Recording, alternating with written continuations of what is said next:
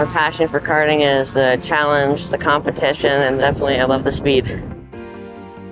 Nigel actually started karting uh, only a few years ago when he was 12 years old. And I got in from F1. I saw my first race probably 2017. And he made the decision to stop playing hockey and pursue karting.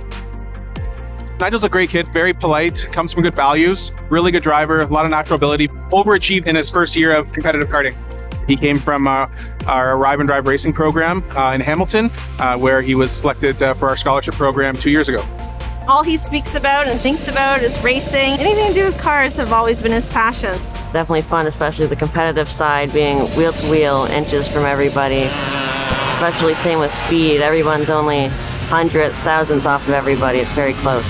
He perseveres even when there's some challenges in front of him, but he, he always manages to strive and finish that race and do the best that he can.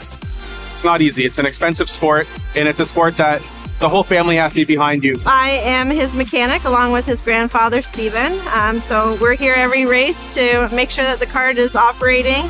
And uh, when incidents happen, we're here to fix them for him and get him on track so that he's able to finish the race. Nigel gets right in there. He's helping. He's helping his mom and helping his grandfather work on the kart, session in, session out.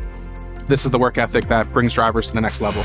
My goals for karting is definitely to get better, place well, first, podium, hard to find sponsors. So when somebody is willing to invest in a young driver and kind of carry them through their driving journey, it's going to help him immensely with the, the cost of just participating in the races that are throughout Ontario.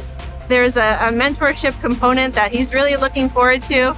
Uh, he had a first call with uh, Kyffin that he was super excited about that uh, an actual racer was calling him. I didn't believe it. Very excited. Very excited and a bit nervous definitely means a lot for this help to pursue my passion for racing.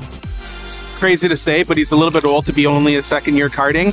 He's learning every every day, and he has such a natural ability um, and affliction for the sport.